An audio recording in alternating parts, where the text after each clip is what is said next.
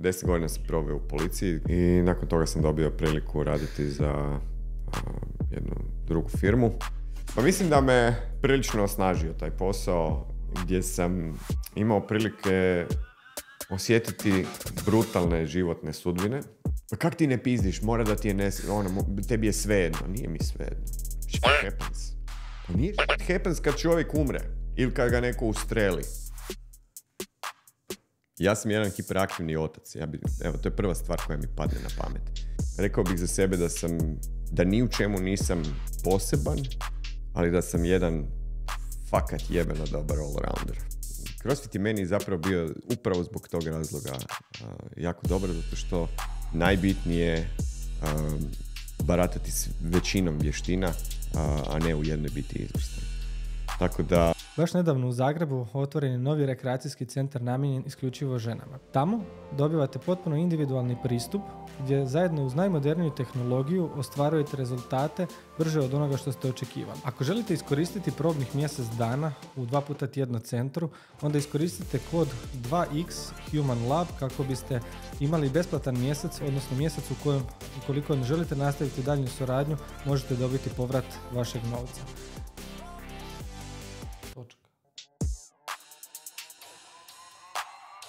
Dobro mi došao, bolje te našao, prijatelju. dragi moji. Kako si mi? Fantastično. Slobodan dan. Provodim u podcastu svojem prvom kod tebe. Ajde, za početak mi reci jednu ovako, mislim, napaću te sa jednom bolnom temom. Odmah Uvijek. u glavu. Ali Ajde. bolna tema koja je samo tebi bolna i onima koji su tako nešto prošli. ok. Kako je prošla skijaška sezona ove godine za tebe? Skijaška sezona je zapravo katastrofa. Ne, ne, ovak. Ono, uspio sam tjedan dana namaknut u Nasfieldu i imali smo zapravo ono, četiri dana odličnog vremena i jedno slomljeno rebro zadnji dan. Ali sam se vratio na krvavec jedno, dva tjedna iza toga, tako da Nije te to omelo, barem da ovu godinu staviš na pauzu. Ne, ne, ne, još ne. Ali moram priznati da me jako muči što nema snijega ni na Sljemenu, ni nigdje drugdje. Baš onako ozbiljnije. Da mogu makar na turno e, gore zapaliti. Ajme, zapravo, tek sam sad skužio, imaš prekrasan pogled na Sljeme. Nevjerojatno. Bez malo, sam, malo sam ljubomoran. Ma ne, evo, gre, Medvedgradu i Sve vidiš. lijepo ti je ovdje.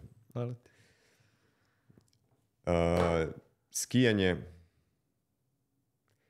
Znaš šta, mislim da ćemo skijati vrlo rijetko i da ćemo odlaziti uh, na puno više visine uh, radi skijanja jer nekako nam je pretoplo.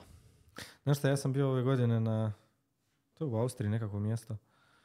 Bili smo ti, to je neko skijalište, slash adventski neki, ono, tematski, tematska neka šetnja, šetnica Dobro. zapravo, ono, imaš kućice pored. Čekaj, jel skijaš? A ne. Ah, to ćemo promijeniti. Podržavam to apsolutno, znači već se nagovaram nekoliko godina zapravo da odem uopće, ali ono, nikad, znaš, ono, tu je logistika, oprema, sve to nešto, zbog čega imaš opravdanje da ne odeš. Slušaj, logistički i opremom, to, tu smo negdje visina, ovo, ono, riješit ćemo to. Ne brini. Taj dio nemoj brinuti. Gle, mogu stati u dva vrha manje pancerice, ali sve više od toga ne. riješit ćemo. da, i bili smo, i zapravo sam prvi puta vidio, ono, pravi snijeg. Znaš ono, kad zamete snijeg, doslovno da ako ideš pored puta i ako si zagazio, ti si do kuka u snijegu. Ti si to bio. To ti je austrijsko neko skijalište, više sam zaboravio kako se zove. Reći ti kasnije, Ok, okay, naći ću negdje ovaj, Dobro. imam, tago sam tamo i baš je bilo brutalno. To negdje u 12. mjestu smo bili. O, pa to ste rano išli. Da, da. Sad je baš bilo, baš je bilo ono snijega. Otvorenje. Uh, Otvorenje sezone. Ali, kad jednom, moj savjet a, oko skijanja, nemoj ići ono vikend skijanje. zašto? Zato što A, dobro. e, kad počneš, nema šanse da naučiš ništa ovaj, u dva dana i moglo bi ti se samo zgaditi. Onak, Isuse, to je naporno, to je ovo, to je ono. Ne, barem tjedan dana uzmi školicu i onak po pesu i onda ćeš vidjeti da to puno brže napravi. Da. Inicijalno je to uvijek malo financijski zahtjevno, ali A što danas nije zahtjevno? e, sve. Evo ovo nije, a ne, je i ovo je zahtjevno financijski. Zamalo. Zamalo nije. Ali da, a- Mogli smo se naći u birtiji. Mogli smo se naći u birti. I opet je, opet je financijski zahtjevnije nego što je bilo nekad. Ali ok, to je priča za sebe, ono, politika i sve ostalo. A što se tiče skijanja, e, koliko je skijanje zapravo nekako opasan sport? Ono?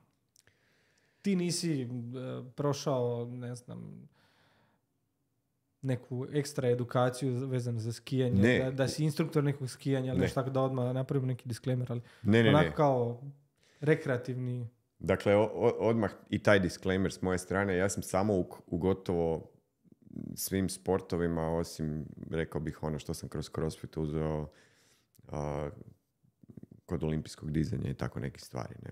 Ali sam veliki ovaj, ljubitelj rada na tehnici i tako dalje. Uglavnom, a, godinama, stvarno već dugo skijam i ove godine prvi put da sam imao e, nekakav lom i zapravo sudar s nekim e, na, na stazi i to je zapravo onak šokantno i odmah sam znao e, da, da, je, da je nešto ovaj, puklo.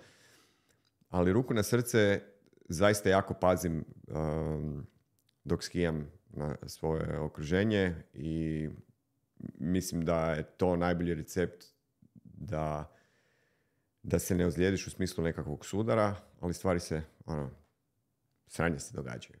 Ne znam da smijem govoriti. Naravno. Ok. A, druga stvar je, a, ono, ono što ljudi vrlo često naprave da bi bilo opasno je da pricijene svoje mogućnosti. Što znači, iz kauča na skijalište, o tome možemo razgovarati tisućama sati. To je po meni jedna od vodećih greški što ljudi jednostavno nepripremljeni dođu na skijanje i onda mišići ne drže, izgube, izgube snagu, srondaju se, nalete na led i, i onda fakat. A opet imamo jednog Mihala Schumachera koji je sve samo ne, ovaj, nepripremljen, pa eto, čovjek je... Dogodila se nezgoda. Da, znači nezgode se zaista događaju. Uh, pobornik sam kacige, u skoro svim sportovima koji zahtijevaju kacigu, no, nosim kacigu, Bi- biciklizam, vozim se na motoru, a, a, ne znam, kad idem na, na planinu negdje penjat, to, iako već dugo nisam, znači planinarenje, recimo, ono, ono išao sam na Triglav, nosiš kacigu jer ju moraš nositi radi kamenja koje pada, ne. Isto tako, ljudi danas gotovo svi nose kacige na skijanju, to je zaista nužno. To je moj stav. Ono, nekako Pa se ne zaštititi. vidim, ne vidim nekako uopće opciju da ne bi nosio kacigu, na primjer, kad bi otišao.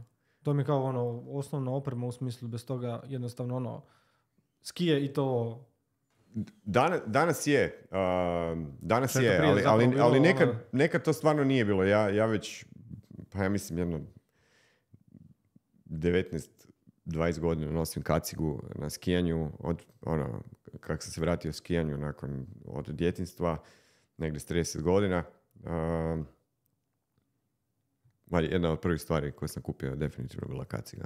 Čisto, ono, um, mislim da ne smiješ pricijeniti svoje uh, mogućnosti, da se moraš pripremiti za to fizički, da moraš biti svjestan svoje okoline. Uh, naravno da skijanje povlači za sobom i popit piće, to je, mislim, Kako se otvara sezona skijanja? ono, gle, a, sjećam se nekad i sjećam se danas, ono, ogromna razlika, jer danas sam jedna do, jedna do dva pića maksimalno općenito. I fakat, od kad sam roditelj, možda jednom sam bio mamuran. Sve ostalo je, i uživam u tome.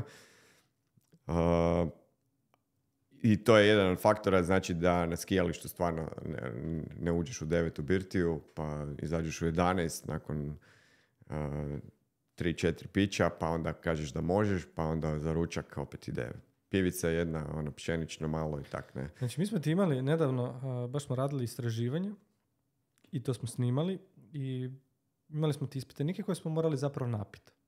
Nešto smo mi tu testirali, neću sad otkrivati što smo sve testirali, ali Dobro. zapravo poanta je bila da mi njih napijemo. I objektivno smo to mjerili putem dregera. Odlično.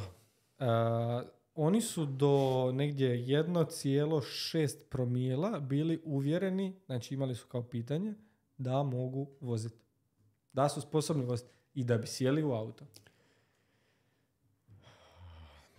Jasno ti je da e, prvo kao kriminalist koji je jel, eto, je to nešto, nešto i studirao, to je apsolutno suludo. Ne? A kao vozač, Koliko alkohol zapravo mijenja percepciju naših sposobnosti? E sad- to, to sam samo htio reći. Znaš, ono, uvijek su, uh, na, na početku tog istraživanja su zapravo govorili kao ono, od, otprilike koliko pića misle da mogu popit, a da mogu voziti. Ali se to drastično mijenjalo. Znači, oni su samo tu granicu nastavili pomicati kako su više pili. ja mislim da nakon treće cuge više e, uopće nije bitno koliko si popio. Da. To je. Iako, navodno, je ono prvo piće, pa makar ostao na njemu, zapravo najzeznutije. Sad pazi razlog. Jer kao, nije ti ništa. Da. A, a digne ti samo pouzdanje. Za skijanje to čak i nije tako jako loše jer te malo opusti, pa ovaj, kao pustiš skiju, ne, a, opustiš se. Iako ne preporučam nikome, nego jednostavno to radite na svoju odgovornost. Disclaimer. Ali z- u autu, navodno istraživanje se navela da a, alkohol toliko mijenja percepciju da te toliko opusti da a, to, to je jedno piće da te opusti do te mjere da ne razmišljaš o stvarima na koje bi inače trijezan razmišljao i zapravo spustiš gard. Zastrašujuće. Da te jedno piće može dovesti ono kao, a 0,5, ne, ono koliko je dozvoljeno. Tako da, 0,5 ja mislim da je njima bilo potrebno uh, tri pića, četiri za 0,5. za 0,5. Dobro, do duše... U krvi mo- vjerojatno bi bilo malo drugačije, ali Da, da, da, dobro, to je sigurno. Ali opet, kad te zaustavi policija, ne gledati u krvi, osim ako nisi napravio neki prekršaj, pa onda moraš ići. Ali ko će znat bolje o tome od tebe? E, kako bi se ti predstavio nekom potpunom strancu? Ono, ali da dobije dojam tko si i kakva si osoba. E, tko sam, to bi bilo vjerojatno lakše. Kakav, kakva sam osoba, za to treba, vjerujem, malo više vremena, jer bi prvo za mene rekli da sam arogantni seronja. Sretno s tim. Šta da radim? Možda je to neki moj gard. E, ja sam jedan hiperaktivni otac. Ja bi, evo, to je prva stvar koja mi padne na pamet. Hiperaktivan zbog sebe, a opet roditeljstvo me uh, nedvojbeno označava kao, kao osobu. Hiperaktivac sam od uvijek. Volio sam uvijek probati sve sportove. uh, slušati od drugih ljudi. Možda ne nužno čuti, za to je trebalo vremena. Uh, ali slušati što više stvari, uh, zaista što širi spektar uh, znanja i vještina. Rekao bih za sebe da sam, da ni u čemu nisam poseban, da ni u čemu nisam izvrstan, ali da sam jedan fakat jebeno dobar all-rounder. I to je vjerojatno moja najveća snaga. Zato je za tebe bio crossfit. Da, ja sam se Dobar izbor. Crossfit je meni bio uh, Crossfit je meni zapravo bio upravo zbog tog razloga uh, jako dobar zato što uh, u, u onom natjecateljskom smislu uh, kojeg sam ja vrlo malo osjetio je zapravo najbitnije um, baratati s većinom vještina a, a ne u jednoj biti izvrstan. Tako da dobro si to povukao paralelu i CrossFit u svojoj nekoj ideji a, zaista ima, ima e, tu dobru stranu. Ne? Ima i demonskih strana, ali pustimo sad. Ono.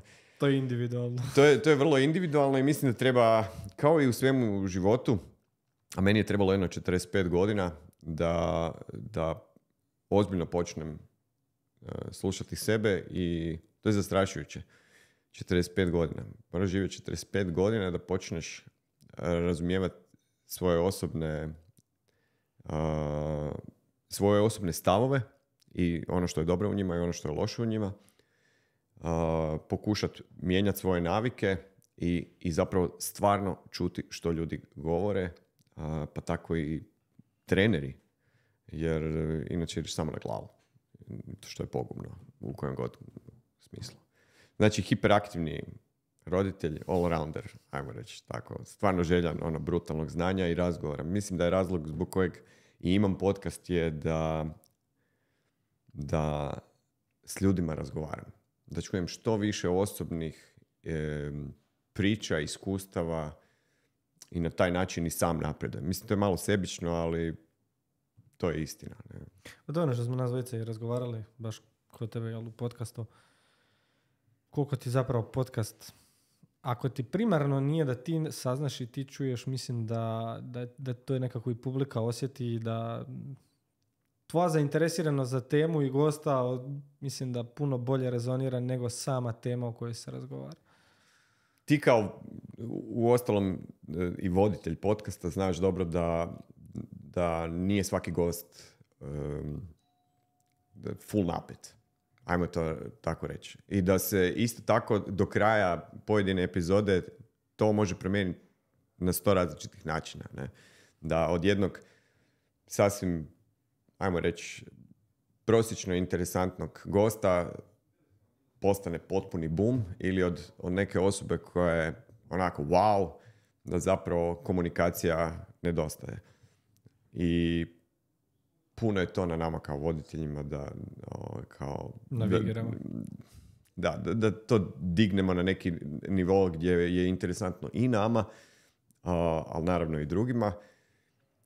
I potpuno si u pravu da onog trenutka kad nisi zainteresiran za temu, da teško mi je da, uopće, bilo je gosti u koje sam, s kojima sam razgovarao koji su eto tako došli da, da nije bio moj inicijalni izbor.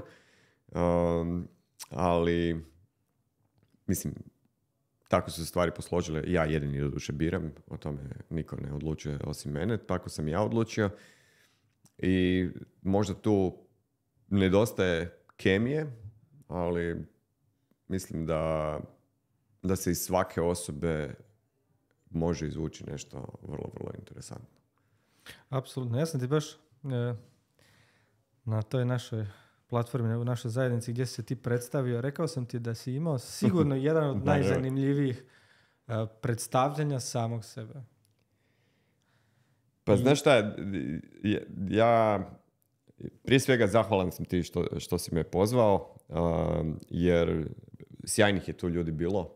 E, lijepo je naći se s druge strane e, ovog stola gdje su ljudi sjedili, to je Zoran Kos prošli, uh, u prošlom podcastu rekao meni. Uh, I to zaista je istina. Tu na ovom stolcu su uh, sjedili neki zaista fantastični ljudi. Neki s kojima sam razgovarao, neki koje bih vrlo rado vidio u podcastu kod sebe. I zaista mi je čast i, i zadovoljstvo doći ovako.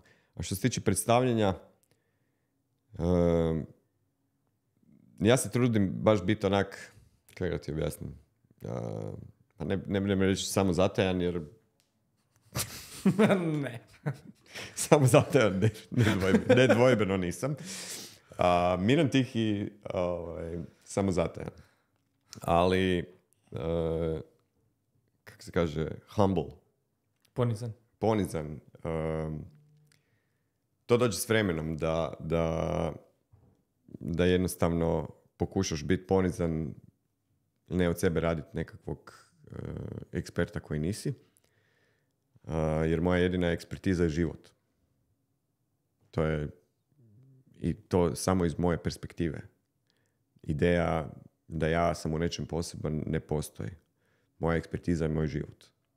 Znaš da je bit voditelj podcasta jedan od najponiznijih zapravo jedna od najponiznijih stvari koje možeš činiti. Ne mi reći. Znaš zašto? Reci. Postoji jedan razlog. Evo, ja sam sad na nekih 70 70 plus epizoda. I u svakoj toj epizodi, ja prilikom ulaska u tu epizodu sam znao da o temi o kojoj ćemo mi sada razgovarati ja znam manje od tebe. Jer sve ono što mene zanima, zapravo ja moram biti svjestan da ja znam manje od tebe.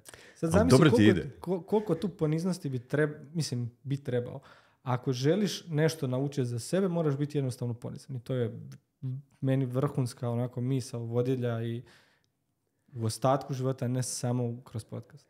Pa, odlično si to složio i mene zapravo, ja imam dve, dva načina priprema e, kod razgovora za podcast. Jedan je, e, zaista radim istraživanje ono, osobe, pogledam intervjue, pročitam intervjue, pogledam podcaste i tako dalje. Znači, jedan dio je da fakat budem siguran da, da ja želim o tome razgovarati i možda na neki drugi način. A jedan dio je da potpuno ostavim onako da se dogodi samo od sebe. Apsolutno. Znači, e, da totalno sam e, nepripremljen, da ne želim, baš zaista ne želim znati sve o toj osobi. Jer onda a, to se dogodi da zapravo uskačeš čovjeku u riječ jer je to već negdje rekao i, i onak, daj ga pusti da priča. Ne? Da, da, Možda bi on sad to ovaj puta drugačije rekao. Možda bi upravo tako. I onda pokušavam prilagoditi.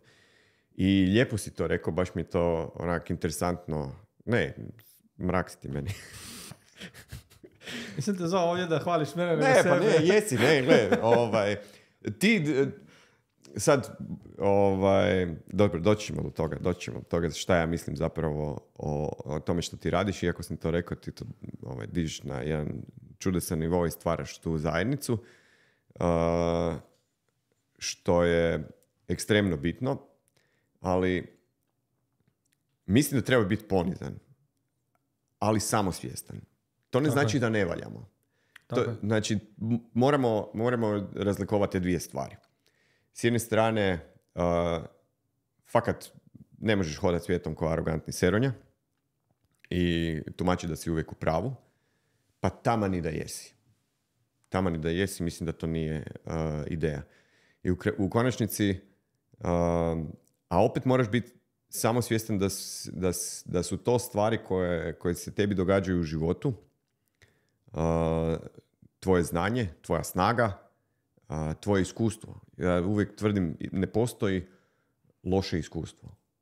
Iskustvo može biti neugodno ili ugodno, ali ne postoji loše iskustvo. Iskustvo nam daje tu snagu da pri nekom sljedećem momentu životnom možemo kvalitetnije odreagirati. I imamo pravo bit, uh, imamo pravo bit onako, ne, neću reći onako, kurčeviti, da, da je to naše.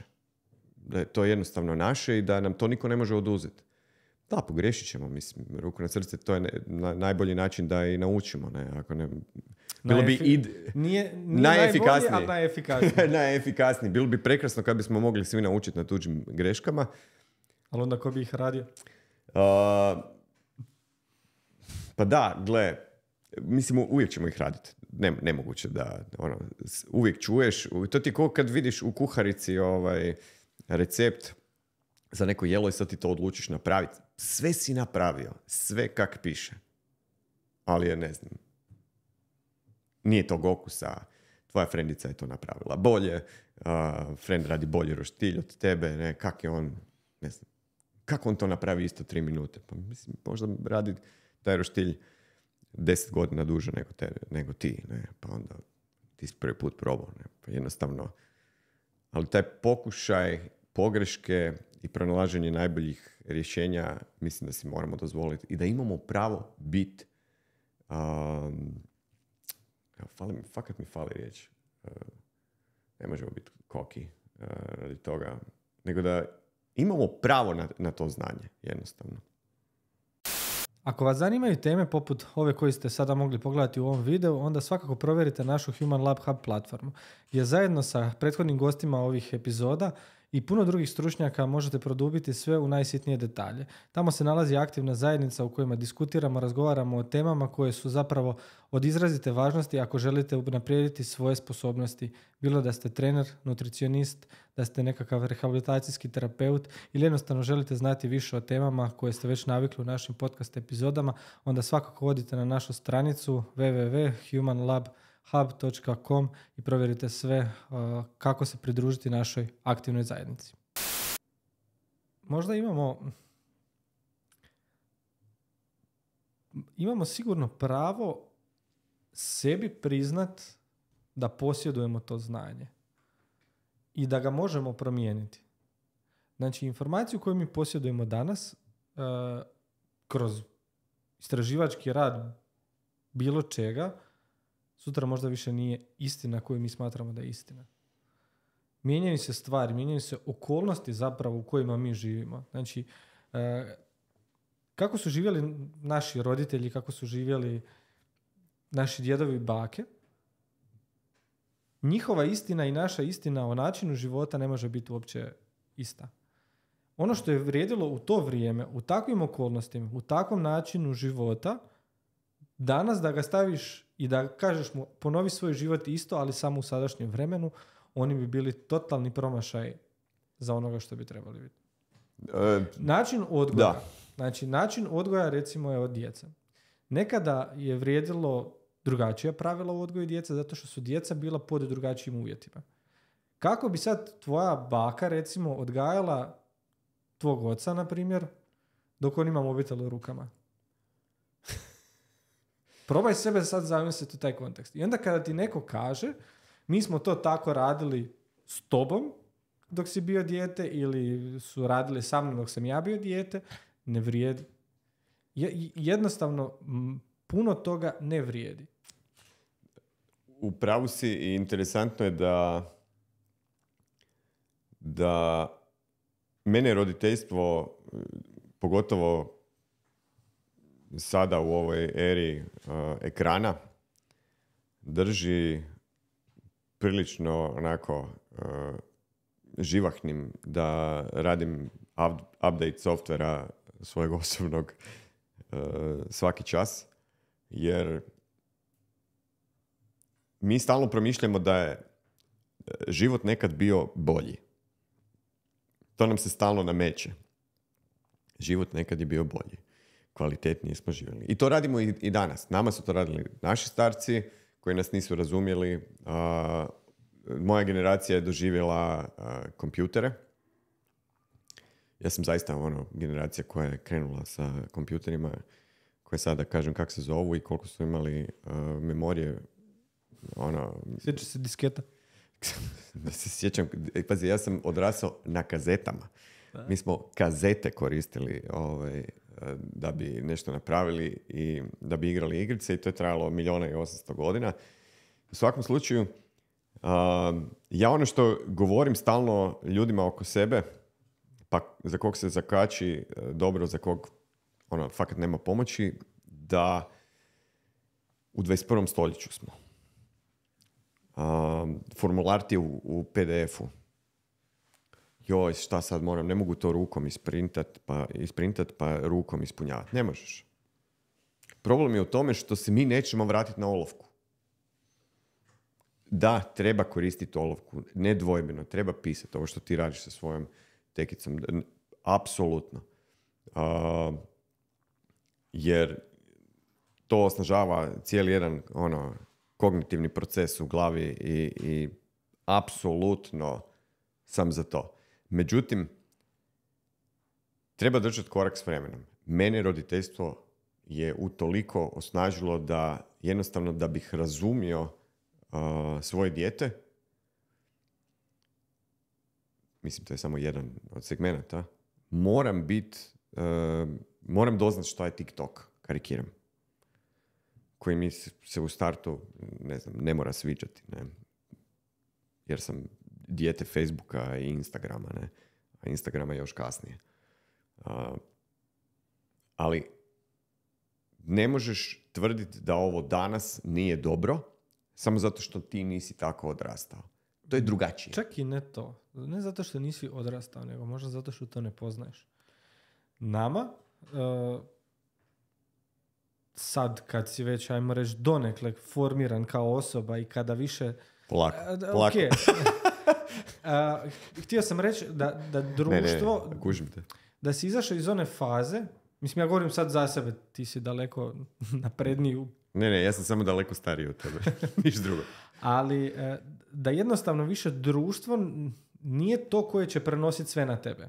Znači, postoji određena faza u životu, nekakvo tineđersko doba, kada roditelj gubi svoju funkciju u smislu taj koji će tebi prenositi sve na tebe, doslovno, prelazi na društvo.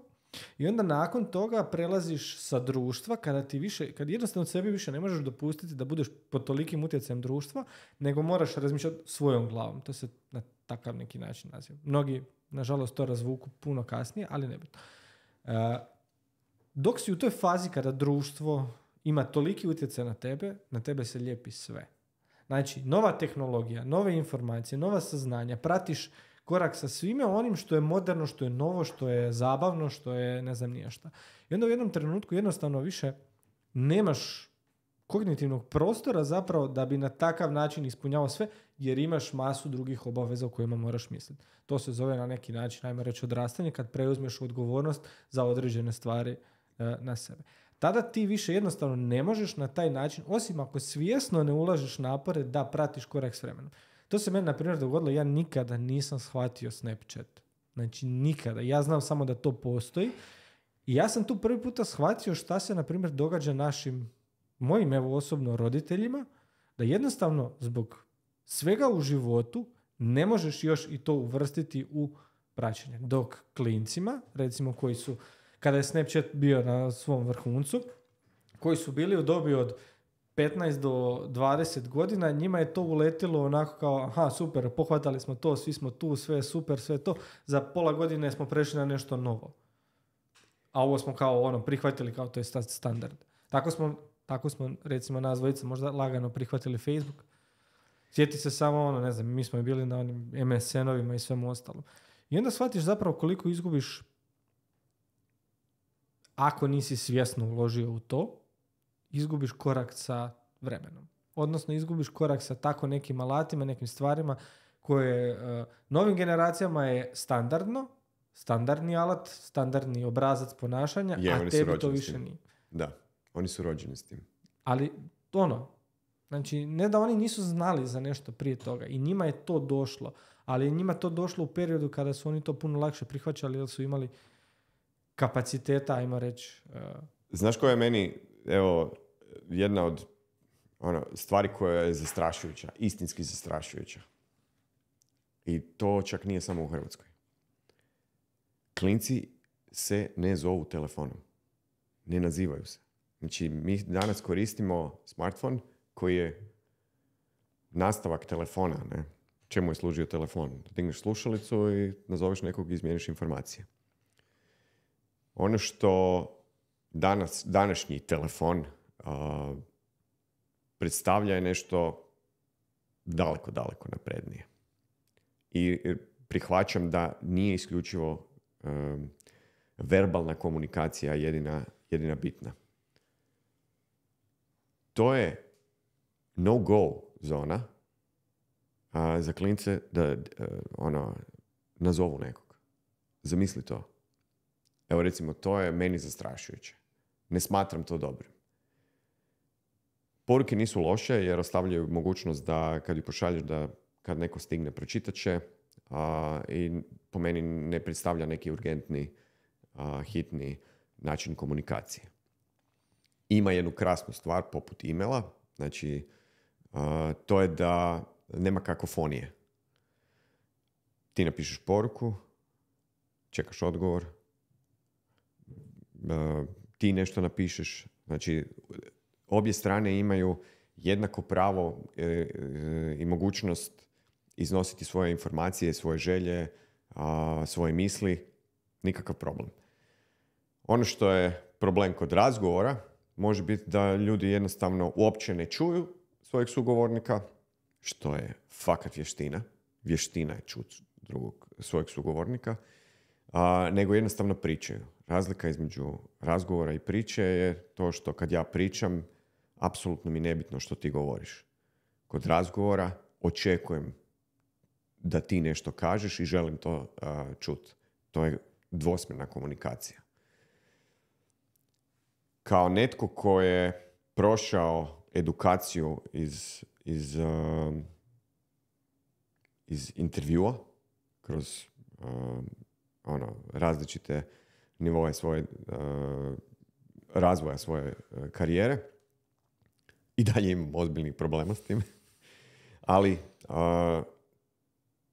i tog sam svjestan. Treba biti svjestan. To je, to je početak. Ono što je, što je, što imam sreću je da imam, hvala Bogu, preko 55 snimki ovaj, svojih podcasta gdje se svaki put mogu podsjetiti da ono moram prestati brbljati. Ne? Ovo je zapravo danas, ajmo reći, svoje vrstna iznimka i onaj, onaj dio Talk to me Goose ovaj, mojeg podcasta bez pauze u kojem si dajem oduška da baš ono blebećem kaj god hoću.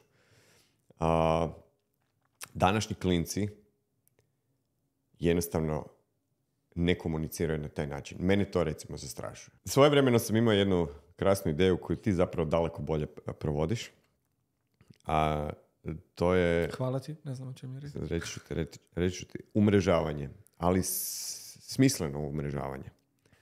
Pri tome ne mislim na materijalnu dobit koja u konačnici i može postojati, ali, ali inicijalno nije bitna. A, ideja je da se ne nužno isto mišljenici, nego ljudi koji mogu, ne influenceri, jer to je ono izraz koji je osakačen, iako ima dobru namjeru, da ljudi koji imaju određeni utjecaj, koji imaju volju pričati, pisati i razgovarati o svojim iskustvima, svojim znanjima, svojim vještinama, sa drugim ljudima koji su istovrsni u, u tom smislu, iako posjeduju potpuno drugačija znanja, vještine. A, jednostavno umrežiti ih kako bi a, utjecaj na, na, na okolinu bio daleko jači. Meni je zapravo drago da, da, da si to ti preuzeo. Nisi preuzeo od mene, da ne bi odmah krivo ovaj, ispalo, ne. nego je to brutalno frustrirajuće. To je izuzetno frustrirajuće kad pokušavaš ljudima objasniti da postoji bolji način. Bolji način znači i ono što 21. stoljeće donosi. Ovo što naši klinci danas rade. Ti ćeš kroz koju godinu to ovaj, debelo osjetiti. Debelo osjetiti. Vjerojatno, vjerojatno će tvoja mala biti eh, možda totalno drugačija od mog sina, koji je, eto, ulazi u pubertet. Odnosno, ušao u pubertet, ima 14 godina. Uh, ja sam zahvalan što sam otac takvog jednog fantastičnog dječaka koji, uh, koji ima i svoje strahove, koji ima svoje probleme, ali isto tako mi donosi, uh, recimo priča mi interesantno, za thumbnail, za, za podcast. Ne, one. I, onda ti kažeš, o, imaš novi thumbnail, to je super, ne, thumbs up. Ja onak, čekaj, njih dvojice se razumiju zapravo. Ja sam tu, ja sam tu taj od, koji odskače u, u ono, s vagona. Ono. Ja se moram vratiti na tračnice. Ali zašto? Zato što želim funkcionirati u tom novom svemiru. A da bi to mogli postići, moramo moći čut druge ljude. Jer, jer su to znanja koja su nama možda strana, ali potrebna. I velim, meni je zastrašujuće da sam sa, ja bih rekao negdje s 45 godina e, doživio tu neku svoju veću promjenu. Da sam počeo ozbiljno slušati druge ljude i sebi omogućio određeni rast. I korak s vremenom. Koji je vrlo često u disbalansu, u disonanci sa, sa ostatkom svemira koji samo razmišlja kako bi napravio posao uh, tako da ode na janjetinu. Ne? Što je meni ili do, do pet ujutro uh, hopsao na cajkama, nemam pojma. Mislim, radite ljudi šta god vas je volja, ne. Meni je samo to, meni to ne ishodno i neprivlačno. Znaš što je meni neka vrsta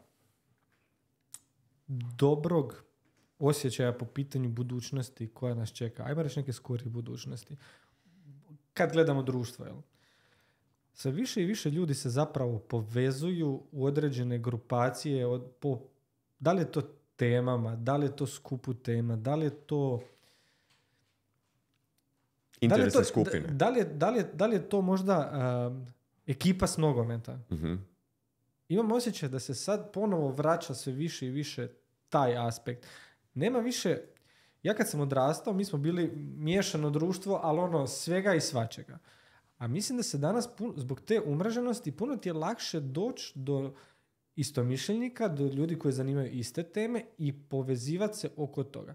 Ja se sjećam, mislim, mi nismo imali baš, ja kad sam bio baš klinac, mi nismo imali opciju, uh, na mobitelima su tek poruke tad bile ono nešto. Niko od nas zapravo nije u to, ta doba nije imao telefon, ja sam nešto negdje u sedmom razredu osnovne škole smo zapravo među prvima imali ono, nek, neko je imao telefon, ali šta ti vrijedi što ti imaš telefon ako nema deset oko tebe.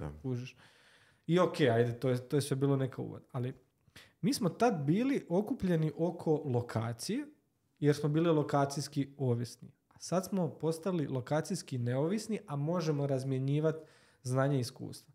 E, tu se onda dogodilo, u posljednjih možda desetak godina se tu dogodilo onako veliki delay u, u, praćenju društva kroz sve to novo što nam dolazi, kroz sve te nove mogućnosti. I sad zapravo dolazi do te faze u kojem društvo može se značajno povezati, može ostvariti osobni, a i kolektivni napredak ako udružimo razmišljanja i promišljanja oko određenih tema. I tu mislim da je zapravo onako pozitivna strana na koju ja gledam budućnost našeg društva. Znači, mislim da će tu dosta pozitivnog izaći. Jer mi smo prije bili doslovno, bio si osuđen na, ne znam, ja sam odrastao u manjem selu, bio si osuđen na svoje selo i prvo do sa svake strane. Ako si bio sretan, bio si na nekom križanju pa ti sa svake od četiri strana cesta dolazilo novo mjesto, a ne ona u Slavoniji jedna cesta i samo se sela nije ono. Ako me razumiješ što ti hoću reći. Ovak, ali tamo je možda čak povezanost bila jača. Bila je, po, da, bila je povezanost jača u smislu da smo mi svi bili povezani zato što se nisi mogao, nisi si mogao dozvoliti da budeš nekakav veliki outlier u svemu što tebe zanima. Znači nisi se mogao toliko izložiti jer si bio ovisan o tom društvu. Jer ako si bio odbačen od takvog društva, na sebe si stavljao velik teret kako se izboriti sa svime time. A pogotovo gledajući u toj nekoj razvojnoj fazi gdje ovisiš toliko od društva, to je ono početak s kojim smo zapravo krenuli u ovu temu. Znaš šta, e, ja nisam u svojem društvu, ovak, ja sam fakat dijete centra grada. I e, to ne mora nužno imati neku dobru konotaciju. Ja držim da je to dobra konotacija. E, moj, moje odrastanje je bilo, ajmo reći, ono pravo građansko. E, nikakve zlatne žlice, mladeži, nemam pojma, silver spoon, ne. Ništa nalik tome. E, međutim, sjećam se, 87. je bila univerzijada na, Sljeme, na, na, u Zagrebu i sportski centar Šalata je preuređen. Potpuno renoviran. To je ono, posljednji put. da, vjerojatno. I znam da 88. to je bio moj sedmi razred. Da, zapravo sedmi na osmi. Uh, smo se počeli tamo okupljati, jer sam živio brdo do. I količina ekipe koja je dolazila, ne znam, po zimi na klizanje, preko ljeta na bazen, na košarku, na tenis, sve se igralo. Opće, ono, tada je sport bio drugačiji. Ti si vidio, ne znam, Agasija na, na terenu, Samprasa ili nemam pojma kasnije, ma ne, Ivanišević je došao stvarno kasnije, ali ti si vidio te, te nad ljude, tad kad si ih mogao vidjeti na televiziji, e, jer nije bilo stalno, ne, nisi mogao pustiti ponovno, osim ako nisi snimio na VHS kazetu, ne, ja, tako sam star. Ovaj, I uglavnom, ti si to morao ići probati. Nisi imao želju e, postati novi Agassi, nego jednostavno si želio igrati tenis. To je bilo dobro. To je bilo dobro. Danas imamo, danas svatko od nas je Agassi. I ti i ja smo Agassi. U kojem kontekstu? U kontekstu da, da okupiramo određeni medijski prostor uh, i širimo određenu informaciju, kakva god bila. Se radi o trčanju, o teretani, o razgovoru, o širenju te ideje o, o interesnim skupinama koje smatraju da mogu pomoć unaprijediti život. To je ono što ja zapravo mislim o Human Lab projektu. I danas, danas je to drugačije. Danas je problem u tome što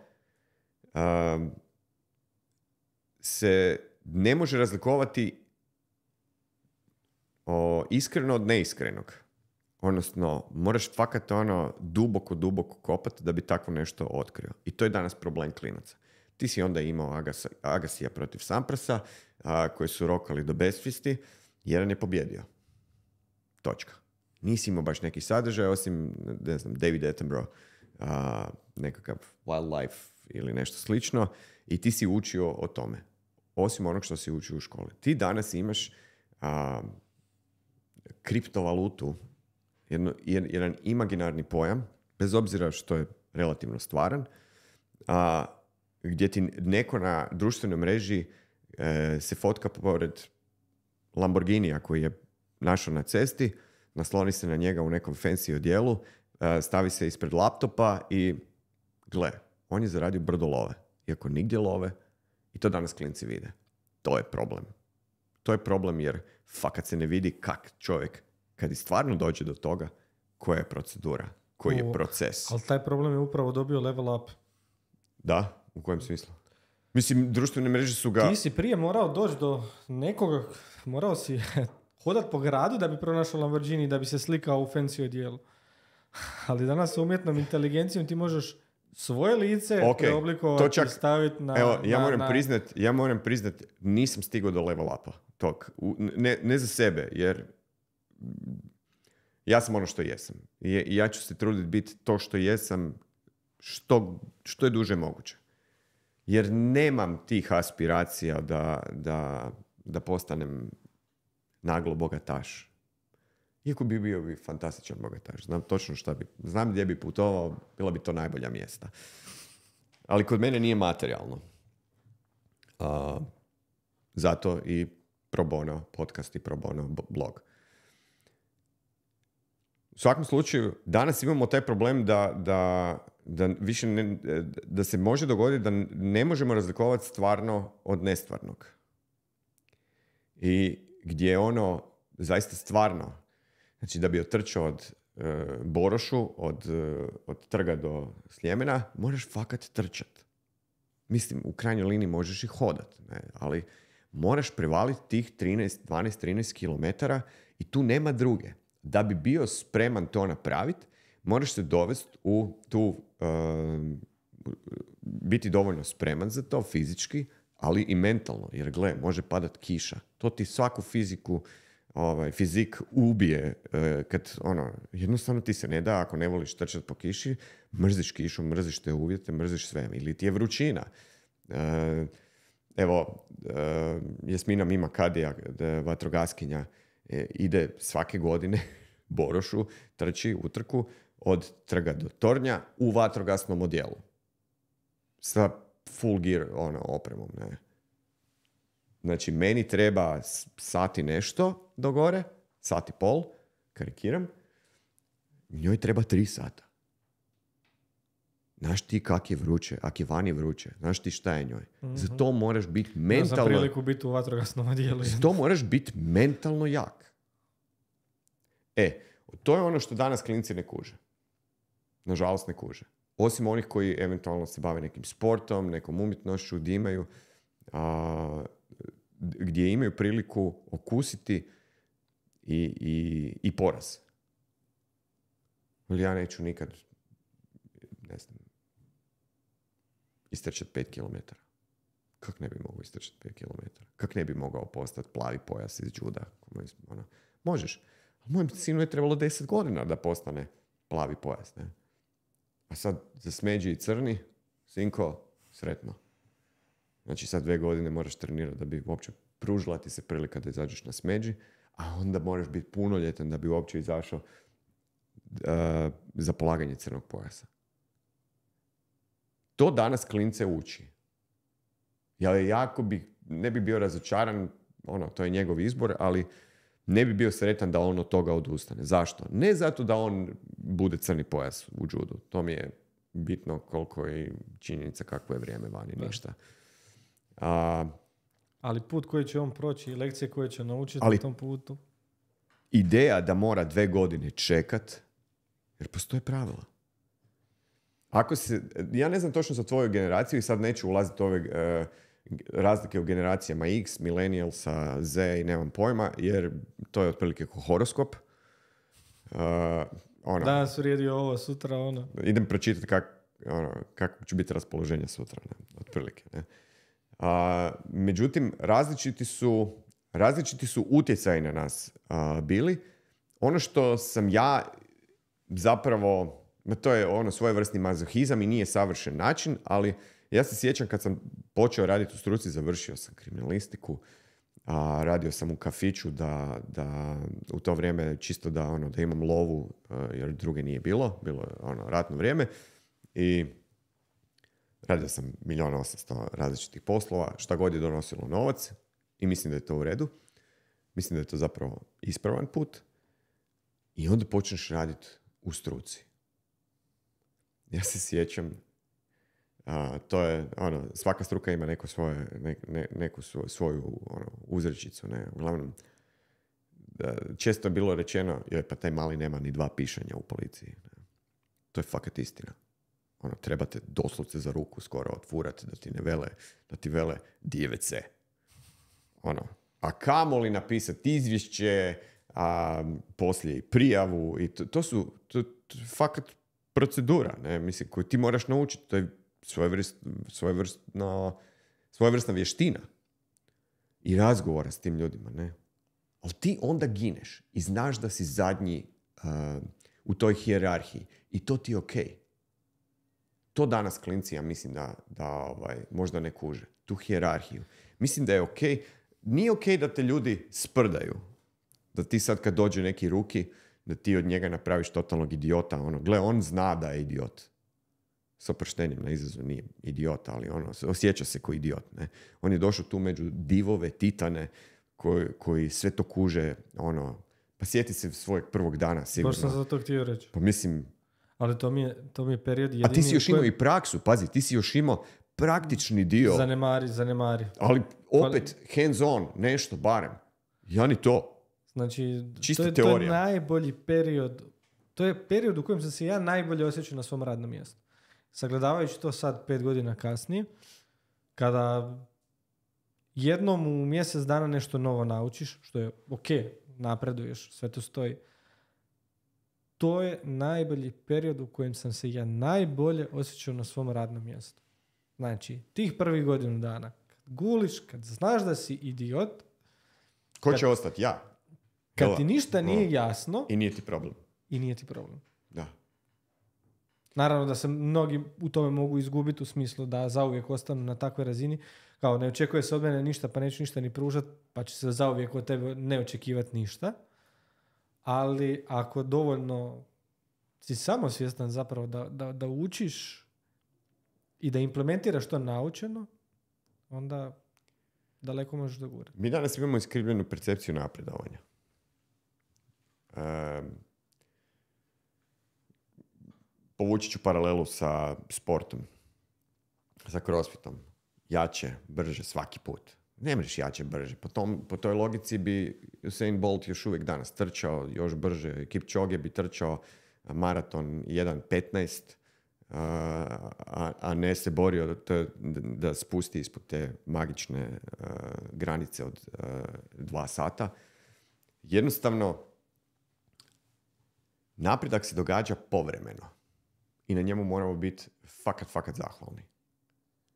Ali ne je da onda sve ovo drugo ne valja. A mi gledamo kao, joj, životarim, joj, nisam, ništa se nije dogodilo. Pa zamisli da ti se događa svaki dan. Pa to ne bi imalo nikakvu vrijednost. To bi bilo fakat ono totalni bullshit da jednostavno ti moraš postati ono, nad čovjek. Priroda se pobrinula za to. Jer pogledaj, pogledaj sad svoj životni vijek. Pogledaj sebe u nekoj ranijoj dobi. Ti si tada imao puno energije, mogao si biti svugdje, ništa te ne boli, e, sve si mogao podnijeti, nespavanje, loše odabire hrane, sve. Tada si najviše toga učio. Jer si tada bio najbo, najspremniji zapravo za primanje novih informacija, za primanje novih iskustava. Kako život ide dalje? Kako je tvoje tijelo nešto slabije, nešto su ti sposobnosti manje nego što su bile prije. Znači, svi si to moramo priznati. O, da. Znači, progresivno to ide u jednom određenom smjeru. Ali tako i ta životna iskustva postaju rijeđa. Znači, doslovno se može pratiti na jednakoj razini ta krivulja. Jednako se manje izlažeš određenim novim stvarima, a i nemaš ih više toliko. I mi umjesto da to sagledavamo na način, ok, znači ako je meni sve teže pronaći novo iskustvo, pronalazak tog novog nekog iskustva koje je gotovo bilo ili nove informacije, novog znanja, bi trebala biti u toj mjeri vrijednija nego količina sve onoga što smo stekli prije. Trebalo bi nas puno duže držati to, taj osjećaj zadovoljstva za kad pronađemo nešto novo. Znaš što je problem? Problem, kako ga ja vidim, je da kad si klinac, onda te toliko stvari zanima da jednostavno ne možeš se fokusirati na ono što bi zapravo trebao biti nekakav normalan proces napredovanja i razvoja, da si usredotočen na tu jednu bitnu stvar, tipa, ne znam, škola na prvom mjestu. Iako kurikulum, po mojem stavu, je vrlo, vrlo diskutabilan. E, mislim da, ali al neću u tom smjeru ići. A kasnije, upravo nastavno na ovo što si ti rekao, e, jer postajemo svjesni svoje ono, smrtnosti, ali da se stvari mijenjaju, da, da imamo manje energije, da se puno duže oporavljamo, da nam treba puno više sna, a, a da imamo puno veću želju učiti. Barem govorimo o sebi. Ja imam puno veću želju učiti danas nego onda. I to mi je problem. Razmišljam si, evo, jedan ne bih želio krenuti e, na prehranu, ali a, prije jedno pet godina sam promijenio način prehrane. Smanjio sam, a, ovo nije veganski, ovaj, ova veganska promocija, znači smanjio sam unos mesa, razumijevajući nije, nije problem meso, odmah da to demistificiram Meso ima svoje dobre strane i treba jest meso. Samo je pitanje koliko mesa treba jest i koliko nama treba mesa. A prije toga sam bio lik koji je, koji je ćevape smatrao najboljim prilogom uz vratinu. Evo, mislim, toliko o mojem mesožderstvu. I onda bi na večer naravno pojeo sandvič sa narescima. Danas se malo drugačije hranim. E sad, zašto govorim ovu za, zašto govorimo o, o, ovom primjeru? Trebala je doći određena osoba u moj život, uh, konkretno moja šefica tadašnja, koja mi je na jedan vrlo jasan, uh, jednostavan i nedvojben način dala do znanja da postoje određeni benefiti, da treba to sagledavati nekako drugačije. E sad, moj problem je zašto se to nije dogodilo prije 15 godina, prije 20 godina. To je moj problem. Iako je bilo ljudi koji su odustali od jedenja mesa. Samo nitko nije meni mogao objasniti ja to ne jedem zato kaj, e, ne znam, se ubijaju krave. Meni to nije dovoljno dobar razlog. Sad možemo ući u tu temu, ali nije bitna tema, nego je, ne, pa nećemo ulaziti, nego je bitna je metodologija kojom je, koja je izostala zapravo da meni neko objasni zašto to čini. Možda bi mi tada prije 25 godina to imalo smisla kao danas. Samo da je netko odlučio podijeliti. I zato je jedan od razloga zašto pišem i zašto imam podcast. Ne zato što to je svoje, svojevrsni moj dnevnik, blog pogotovo, to je moj dnevnik i mislim da ljudi, da nije svatko sposoban govoriti e, o svojim osobnim e, doživljajima, o iskustvima, o, o emocijama.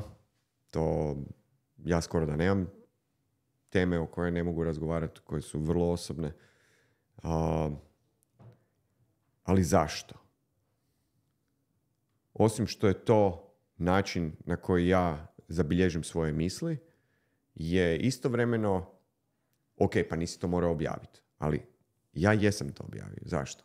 Jer možda netko to bude pročitao, pa mu to bude moment zbog kojeg će napraviti određeni pomak na bolje. Za mene je to mission accomplished. Misija uspješno izvršena onog trenutka kad neko promisli o tom, ne mora se složiti.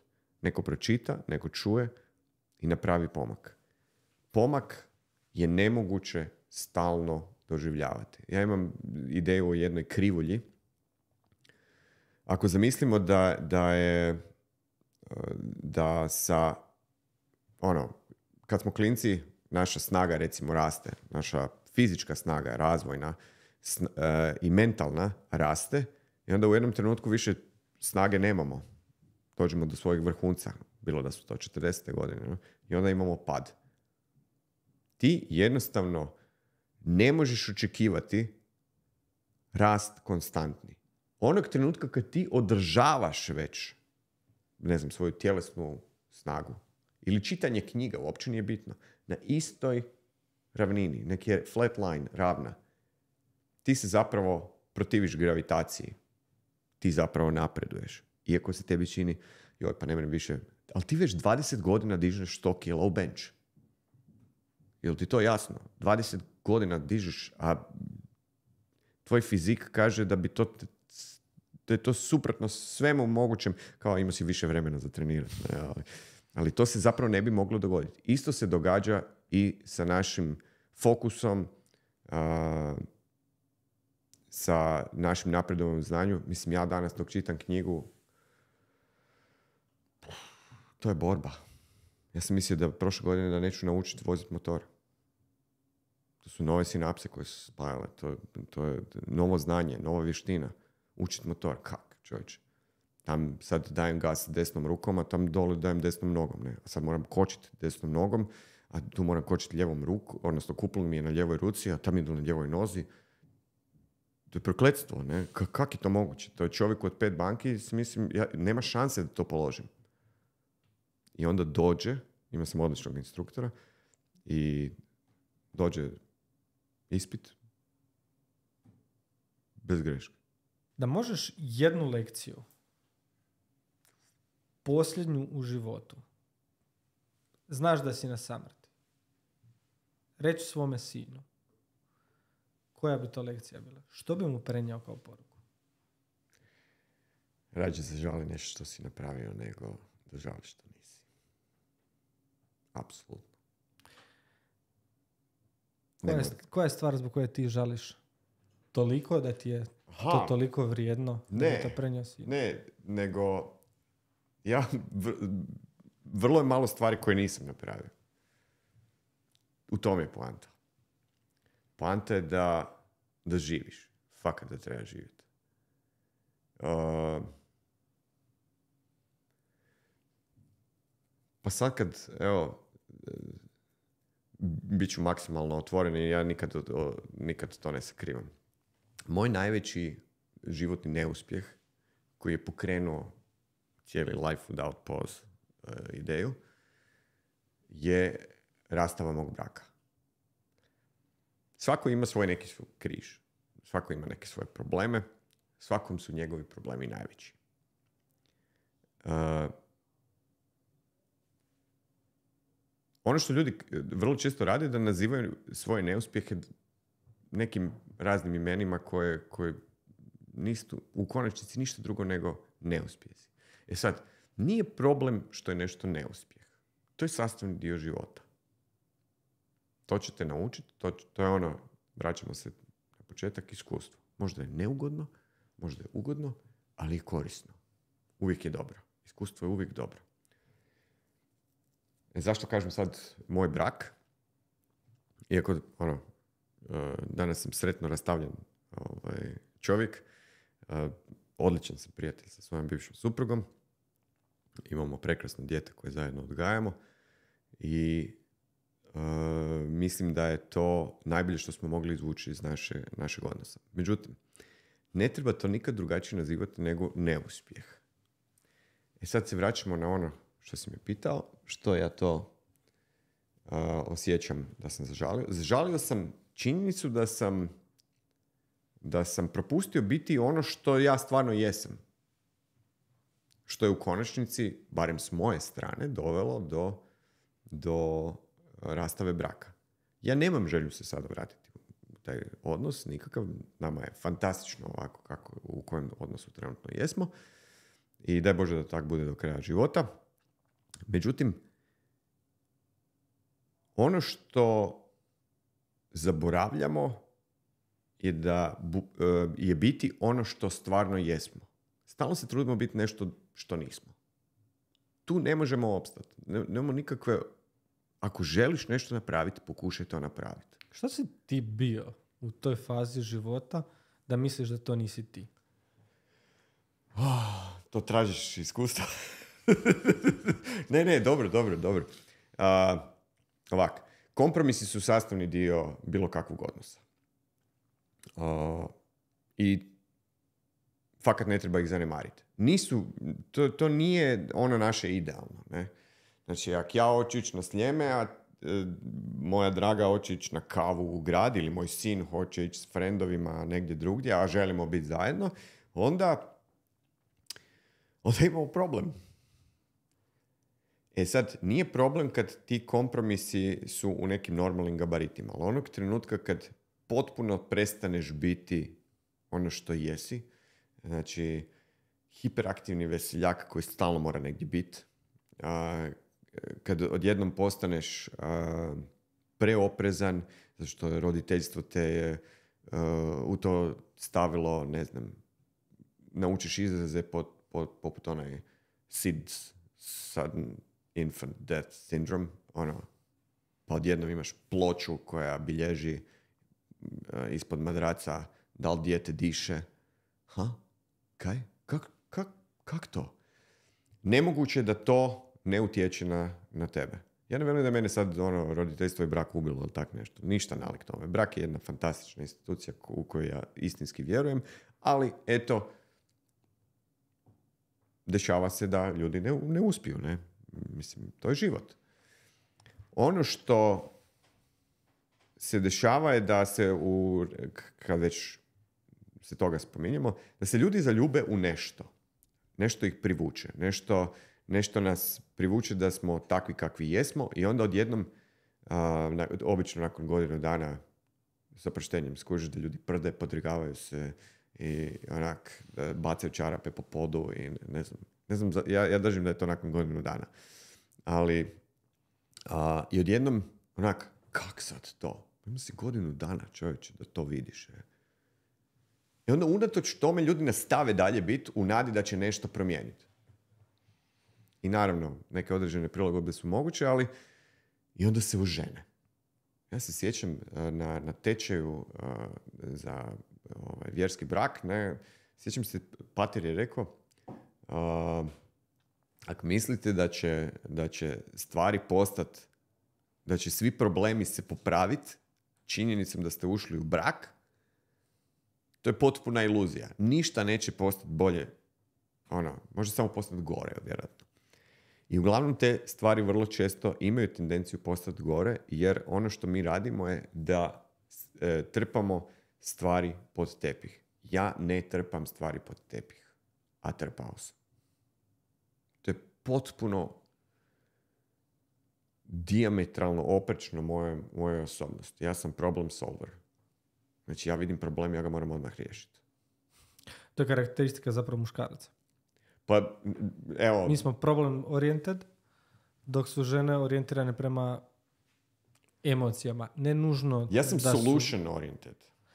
To, ali da, to, ok, to znači, si, ako si to mislio reći. Zapravo da, sam da, to da. reći, da. Znači, kod nas muškaraca jedina bitna postavka je ta da imamo problem, žena ti dođe sa problemom, kaže joj, karikirat ću bez veze, "Em, mislim da drugi ljudi žive bolje od nas, e, mislim da mi nešto propuštamo u životu, mislim da em, Marica ispred trgovina mi je pričala kako oni planiraju tri puta ići e, na godišnji odmor nekakav na neko putovanje, zašto mi to ne možemo? Science Kod- fiction. ok, možemo mi to, ne- neko jednostavno Da, da, tako da. može, jel? iz masu razloga. Kako će muškarac pristupiti tome? Ok, imamo problem, nedostaje nam financija, idemo ga riješiti. Kako ćemo ga riješiti? Hoćemo tražiti dodatan posao, hoćemo tražiti dodatan izvor prihoda, hoćemo e, mijenjati kompletno posao, hoćemo nešto poduzeti po tom pitanju. A žena je zapravo samo htjela da ju ti poslušaš i da kažeš da, možda oni ok, to sad mogu, mi to sad u ovom trenutku ne možemo i ne ići objašnjavati zašto mi to ne možemo i kako bi mi to mogli, nego jednostavno i samo poslušati i prepustiti se tome. Jer ona je u toj... Ti ćeš biti uspješniji suprug. Jer ona je... Jer ona je zapravo pod utjecajem emocije i ona to sagledava sa emotivne strane. Znači ona je procesuirala to na taj način da je ona osjetila emociju određenog problema bez da ona ima potrebu rješavati taj problem. Jer ona zapravo ni ne želi ići tri puta na putovanje, ne znam nije gdje, njoj je dovoljno da ode možda jednom, da malo nešto iskusi, da se nešto promijeni, ali ona je bila pod utjecajem te emocije, što nije loše, ja kažem. Znači ja sam milion puta to objašnjavao ženama u svom društvu. eh, Uspješno, jel? trudio sam se. Tebi se to tako činilo, je. da je ljepota zapravo braka kada imaš tako dvije strukture gdje jedna razmišlja o problemu, a druga razmišlja o emociji. Jer zašto? Ja bi prošao kroz ovaj život bez da sam posvetio imalo pažnje prema bilo kakvoj emociji koju susretnem. Ja bi ju gledao samo kao problem i svaku emociju koju bi osjetio bi gledao isključivo kao problem koji treba riješiti. Ok, da li se ja sad osjećam previše sretno i previše uzbuđeno? Imamo problem, osjećam se previše uzbuđeno, hajmo to spustiti na neke normalne granice. Osjećam se jako tužno, imamo problem, ajmo to riješiti da podignem da se vratim tamo. Dok će žena, na primjer, biti pod utjecajem emocije, da li je ona tužna, da li je ona sretna, da li, da li se njoj plaće iz oba dva razloga u isto vrijeme, ona će to osjetiti, ona će na taj način doživjeti ovaj svijet. A ako ona mene ne nauči tome i ne pokazuje mi tu ljepotu života, onda uzalud sve ostalo. A isto je to stvar što imamo balans sa druge strane, gdje imaš muškarca koji je solution oriented, znači orijentiran je prema pronalasku rješenja za bilo šta, znači za nešto što se uopće ne treba riješiti. Znači za, Da. za problem koji ne postoji mi ćemo tražiti rješenje za taj problem, samo zato što tako razmišljamo. I onda kada to od dvoje spojiš imaš na neki način uspješan odnos, neću reći brak, reći ću odnos. Dobro, mislim da je... Jer to ne mora da uključivati nužno samo odnos u braku, nego to bilo kakvu drugu ono. Uh, upravo si i za to. Uh, ja naravno, da mi je to možda ovako kao što si ti to lijepo ispričao, uh, neko ispričao prije jeli, 15 godina, mo- možda bi ja ažurirao svoje postavke. Međutim, ja sam generacija koja... E, moje društvo je takvo da jednostavno o tim stvarima se ne priča. Ne govori se o tome. Um, nedovoljno. Ljudi čuvaju svoje... Zašto ja pišem i o problemima, ne? E, I zašto razgovaram o problemima? Zato što ljudi ne žele razgovarati o problemima. Čuvaju to ko neko svoje prljavo rublje, imaju svoje tajne. ja ne kažem da moraš svima govoriti. To, to, ono, prvo nismo svi tako sazdani, niti ja sve svima govorim. Niti će drugi to tako dobro primiti. Uh, tako je. Birati treba, treba birati i trenutak i sadržaj i ono ne treba svima sve reći, ali problem je načelno što kao što smo danas, danas je još gore, ja mislim. Iako imamo nevjerojatnu količinu informacija dostupno preko, preko interneta, do te mjere da opet sve zvuči kao ekspertiza, a zapravo je možda neki blog, poput mog. Znači ja, moja istina je samo moja istina. To nije univerzalna istina. To što se meni događalo u životu može i ne mora biti primjenjivo u tvojem životu. Ali možda ćeš pročitati moj blog i reći, hm, vidiš to, sad sam možda u toj situaciji u kojoj je Tomas bio, hm, možda je moja žena takva, karikiram, ne znam, možda je moj pas takav, uopće ne moramo sad žene stavljati u kontekst. Ne. A, pa možda, možda da ne vodim psa na, na, na, na tu planinu, jer tamo ima ne znam, opasnih uspona di bi pas pao prevalio ako je lutko moj. Karikiram. Ideja je da ljudi komuniciraju, a to ljudi ne rade. Nemaju vremena. Mislim, ruku na srce, često se uhvatim da dobim notifikacije od uh, Human Laba i da ono, ja moram tamo biti više.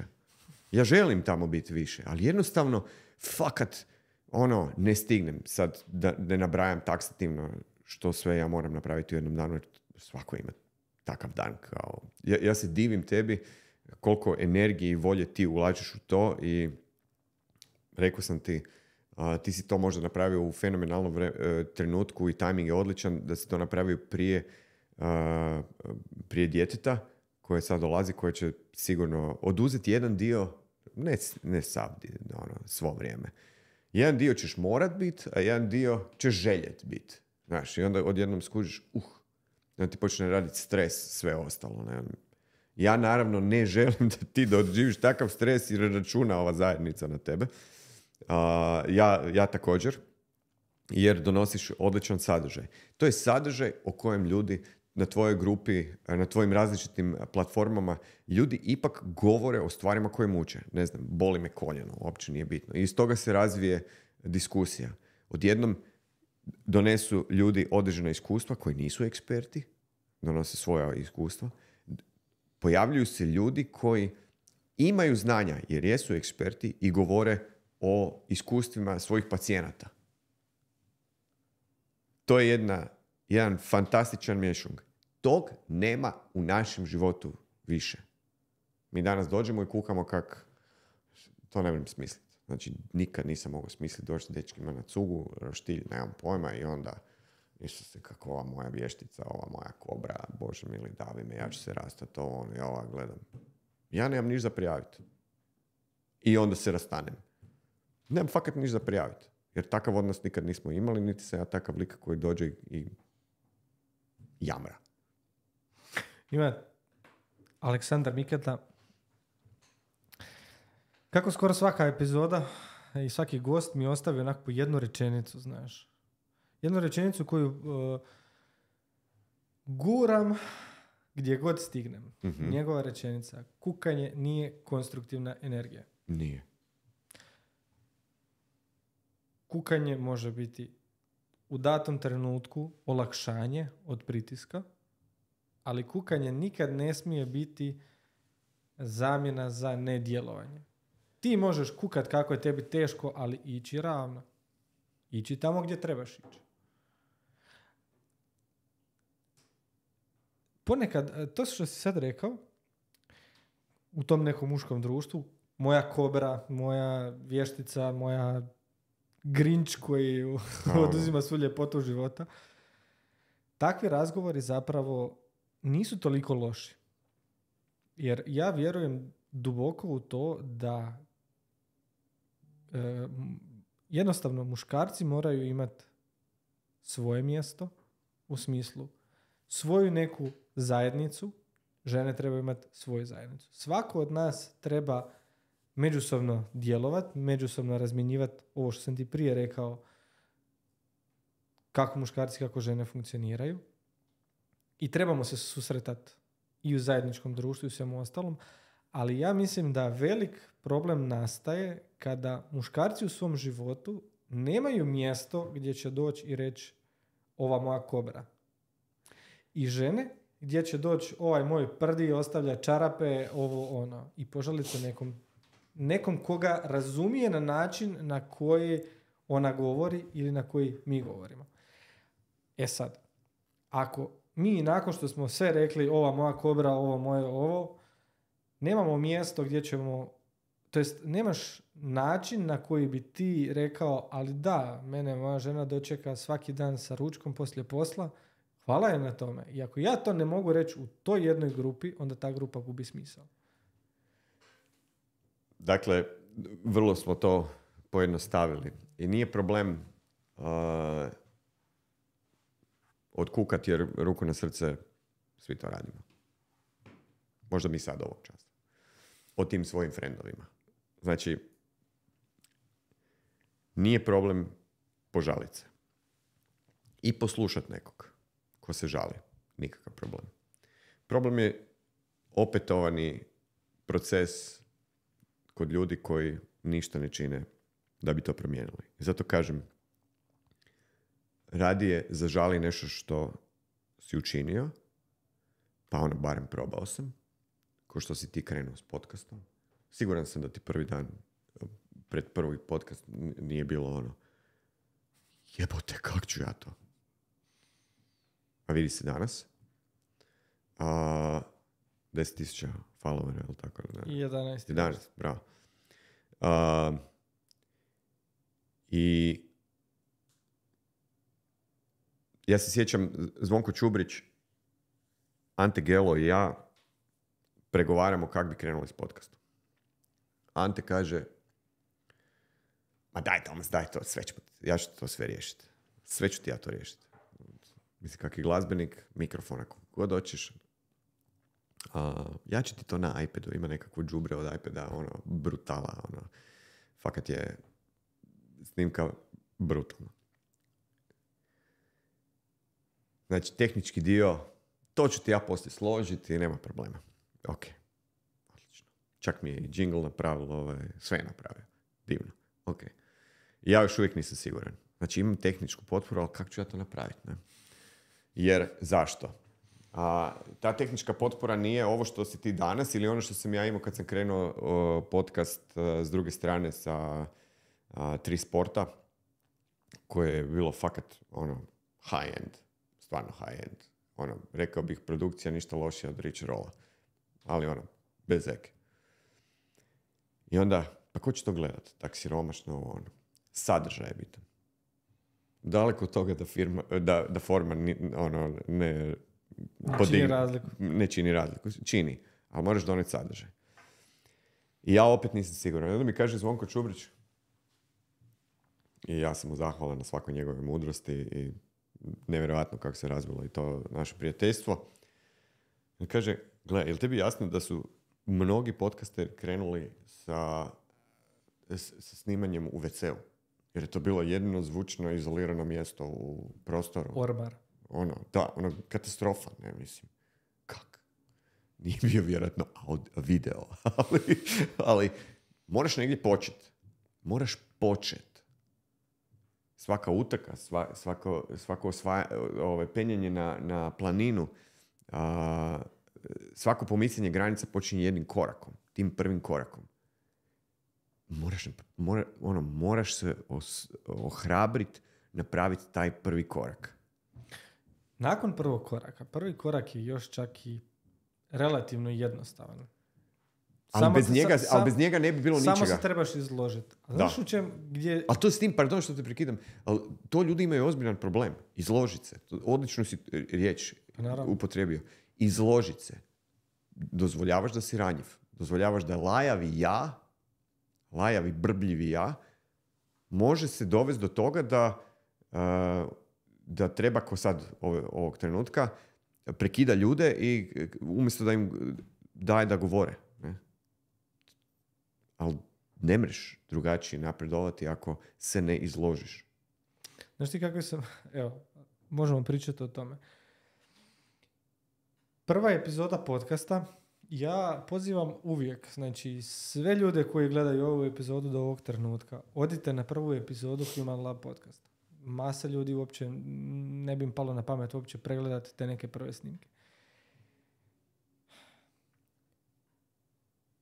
Ja sebe ne mogu gledat. Ja ne mogu gledat koliko pogrešaka ima u svakom koraku izrade te epizode, koliko sam se ja osobno promijenio, koliko su se moji stavovi promijenili od prvih epizoda, bez kojih ja danas ne bi bio ni približno ono što jesam da nisam krenuo, da nisam napravio svaku od tih pogrešaka, da nisam zbog nekih epizoda, neću reći požalio, ali shvatio da jednostavno nije moje mjesto u takvim razgovorima s takvim ljudima, što nije ništa loše. Ja Ne. opet kažem, znači, Otkri jedina sebe. stvar iz kojeg razloga je ovaj podcast krenuo je bilo moj osobni interes za određene teme, moje osobno neznanje o svim tim temama i naknadno istraživanje sa dobivenim znanjem koje sam dobio u takvom jednom razgovoru. To je neprocjenjivo. Apsolutno. Znači, svatko ko pomisli da, da bi krenuo sa podcastom, bi trebao krenuti sa podcastom, sa onim što mu dozvoljava vrijeme, uvjeti, oprema koju posjeduje. Znači, mi danas imamo pametne telefone koji snimaju šest puta bolje nego što sam ja snimio svoju prvu epizodu, koja je bila sa mobitelom. I doslovno ću vam reći svima, znači prva epizoda je snimljena gdje je kamera bila mobitel koji je tri, gene- tri ili četiri generacije sad već lošiji od ovih danas koje imamo, koji je bilo snimano na tripodu koji je stajao na podu, koji je kupljen u plodinama i to je bila investicija koju sam si ja mogao u tom trenutku priuštiti. Ali, ajde ovak, jesi uživo. Apsolutno. E sad, sad zamisli da taj dan, sad se vraćam na ono što bi svojem sinu rekao, ne? Zamisli da taj dan nisi to napravio. Si rekao, ma fučka što, ma daj, nemam ja to u sebi. Nemam ja to u sebi, to neće... Fakat nije bitno jesi li ti uspio ili nisi. U konačnici. Jer ti za dve godine možeš reći hvala. Ja sam se ostvario. Ne- Nadam se da ne, ali ti Ali ne kako- bi kako pokrenuo... definirat- Kako definirati taj uspjeh? Uspjeh? De, definirati taj uspjeh možeš... Evo, kad ostvarim milion pregleda na jednoj epizodi, šta s tim? Šta ti je- s tom informacijom? Jesi ti onda uspio? Ja to ne mjerim time. Jer onda bi bio jako nesretan čovjek. ne mjerim time. A, mislim da je nemoguće mjeriti brojevima, iako nas a, život tjera da, da, da se pogonimo statističkim pokazateljima. Ali mislim da je subjektivni osjećaj daleko bitniji. I to govorim u, kroz dva aspekta. Jedan je onaj unutarnji koji si ti naučio nešto, koji si ti uživao u razgovoru, koji si se nasmio, koji si završio epizodu i rekao si ovo je bilo dobro. Uopće ne razmišljajući o tome ko će to pogledati. Nego ono što s čime si krenuo, s čime sam ja krenuo, da ja čujem nešto fantastično. A onaj drugi dio je opet nemjeriv statistički, jer tisuću ljudi može pogledati 10.000, 5.000, milion. I ništa ne napraviti sa svojim životom od te epizode. Baš ništa. Jedan jedini komentar koji će napisati netko i reći će ovo mi je promijenilo život. Hvala vam. You're done. To ti treba. A, mislim, meni treba. Meni osobno treba. Da jedna osoba kaže hvala. ovo je bilo prekrasno razgovor. Ne moj razgovor, nego osoba koja je donijela to. Sa oproštenjem jebeš mene. Ja sam samo voditelj. Kanal kroz koji netko ispriča svoju priču. Mislim da je ta reakcija najjači pokazatelj a, uspjeha. Znači da si mogao, da si utjecao na nekoga. I to je ono što si spomenuo negdje na početku, kada si rekao a, riječ influencer. Zapravo, Prostituirali smo tu riječ. Bez veze. slažem se, ali mislim da i čak nismo toliko prostituirali koliko smo samo dali negativan kontekst. Da. Zašto? Zato što influencere nazivamo sve one koji nešto tamo predstavljaju, a zapravo influencer je tvoji roditelji, tvoji bližnji, svi oni s kojima zapravo dolaziš u susret. Apsolutno. Zašto? Zato što su svi oni influenceri tvog života, pa čak i oni ljudi koje vidimo na društvenim mrežama, čije sadržaje čitamo i čije, na čije sadržaje reagiramo, oni su svi utjecali na tvoj život. Znači, influencer je zapravo utjecajna osoba, a utjecajnu osobu ne moramo samo tražiti na društvenim mrežama, nego bi se, ja mislim, svi više trebali okrenuti ljudima koji su oko nas uh, i gledat kako su oni utjecali na tebe, kako ti želiš utjecati na druge oko sebe i kako ne želiš utjecati na druge oko sebe. Jer ti si influencer u svakom susretu u kojem druga osoba prima nešto od tebe. Da li te čuje, da li te samo sluša, da li te vidi, da li čita nešto tvoje, ti si za, za tu osobu influencer u tom trenutku. I zato ja mislim da bi svi trebali malo više obratiti pažnju na način na koji se odnosimo jedni prema drugima u svakodnevnoj nekakvoj suradnji, svakodnevnom kontaktu kojeg imamo. Jer tvoj influence u tom trenutku, da koristimo tu riječ čisto Da, kako da, da, bi može. istaknuli, može promijeniti toj osobi dan, tjedan, godinu i život. Dan na način. Ako sam ja sad u prometu, karikiram, i ispred tebe je početnik vozač koji jedva da je dobio vozačku dozvolu, koji je nesiguran u svoje sposobnosti vožnje. I ja sad žurim negdje. I on meni vozi polako. I ne mogu ga zaobići, mogu ga preskočiti, lakše bi mi vjerojatno bilo. Ja sad mogu njemu sjest na trubu, psovat mu, mahat mu rukom, prstom, blicat mu i ne znam nije šta sve raditi. Ja sam influencer u njegovom životu bez da ja to znam. Šta sam ja napravio za posljedicu? Toj osobi sam nabio dodatan stres, ta osoba zbog tog dodatnog stresa na sljedećem semaforu, zato što će razmišljati o tvojoj reakciji na njegovu vožnju, može previdjeti bilo kakvu situaciju, može izletiti drugom pred auto, stradao je on, stradala je druga osoba. Zbog tog tvog influensa. Zato ja mislim da bi trebali više razmišljati o tome na koji način mi sve ostvarujemo utjecaj na druge ljude koji su u našoj okolini, za koje mi zapravo uopće nemamo. A to se počinje od nekakvih naših reakcija na sve što se događa oko nas. Ali misliš da su svi sposobni za to? U određenoj mjeri sam siguran da da. Ali ne čine opet.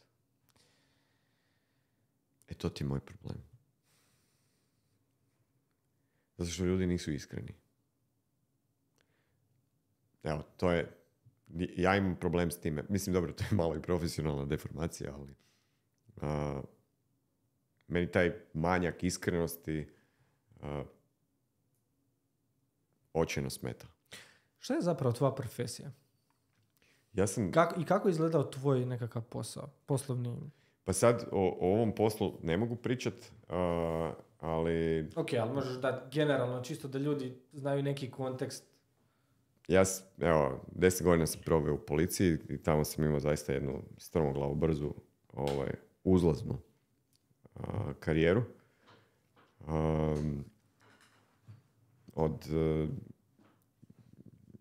inspektora u policijskoj postaji do, do, do vođe grupe u, za razbojništva na odjelu općeg kriminaliteta u policijskoj upravi Zagrebačkoj, sektoru krim policije, gdje sam onda dobio priliku učit i poligrafiju, odnosno onaj detektor laži, ne? U konačnici završio sam i to i postao poligrafski ispitivač. Tada u to vrijeme je to bilo jedan od 15 licenciranih u Hrvatskoj. I nakon toga sam dobio priliku raditi za jednu drugu firmu, da se to tako nazovem, gdje radim kao savjetnik za sigurnost. Ajmo reći to tako. To je možda najjednostavniji. Radim kao savjetnik okay. za sigurnost u korporativnoj, ono, dio korporativne sigurnosti. Ukratko. Ali mi, da, za razliku od policije bavim se e, ljudima i, i koji nisu kriminalci uh, i bavim se ali imaju loše namjere. Ali bi mogli imati loše nakane, da. Ok, radiš na prevenciji loših... Na prevenciji loših namjera. ok. Uh, što misliš da je jedna dobra stvar koja se odrazila na tvoj život zbog tvog posla kojeg si prije radio? Znači jedna dobra stvar i jedna loša stvar. Neispavanost i spavanje danas. dobro, ovo je bilo previše simple. ne, ne, dobro. Uh, pa mislim da me, da, da me prilično osnažio taj posao uh, i ovaj, kao čovjeka gdje sam imao prilike osjetiti pogotovo u onom dijelu policije brutalne životne sudbine što je zapravo i dobro i loše jer mi je dalo do znanja da fakat postoje scenariji koji, koji su nemogući, a na koje si ti naučio zapravo googlaš. Mislim, to, to bi ti vjerojatno mogao razumjeti jako dobro kao uh, zdravstveni djelatnik u hitnoj, jel? A, gdje kad svi drugi pizde, ti si potpuno miran. To je ono dobro što mi je dao posao. Znači, u nekim ekstremnim situacijama se ja nađem a, funkcionirati sasvim, sasvim staloženo, sasvim mirno i donositi neke racionalne, u krajnjoj liniji donositi odluke. Donositi odluke. Meni se tada naravno čine najbolje i najracionalnije. A, a ono najgore je zapravo istovremeno što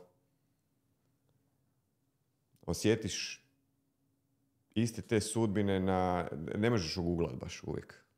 Onak. Preneseš na privatni život?